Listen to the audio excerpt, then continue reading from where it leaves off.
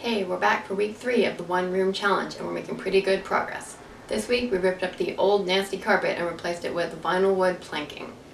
The final results are pretty impressive. Check it out.